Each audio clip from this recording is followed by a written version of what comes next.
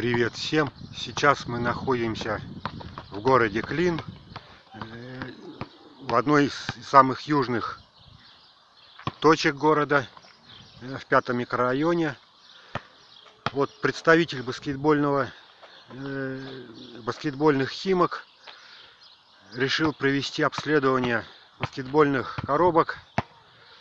Вот сейчас вы видите то, что он проскакивает сквозь забор сквозь, вернее даже сквозь отсутствующий забор в ограждении.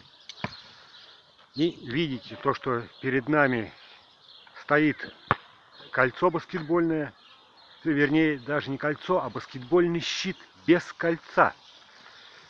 Видите то, что здесь отсутствует ограждение, отсутствует часть ограждения, решетка на этой, на той стороне.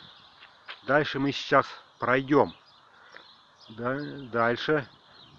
Вот, мы сейчас подходим ко входу на баскетбольную коробку. Опять же, видите, что еще в одной секции отсутствует решетка.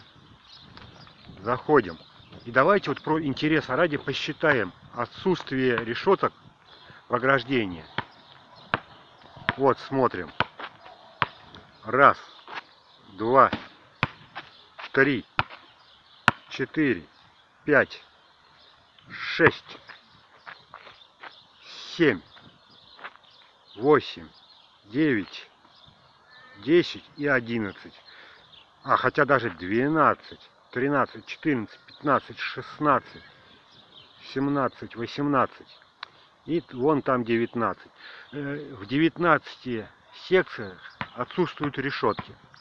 Также смотрим кольцо, э, баскетбольные щиты. Вот как раз вот, э, мяч пошел двухочковый бросок, который, при наличии кольца был бы засчитан. Но так как кольца на этом баскетбольном щите нет и нет той части, э, где крепится кольцо, соответственно, двухочковый не, за, не засчитан. Также смотрим ту сторону, и на ней тоже отсутствует кольцо покрытие асфальтное. Ну, ладно, фиг с ним.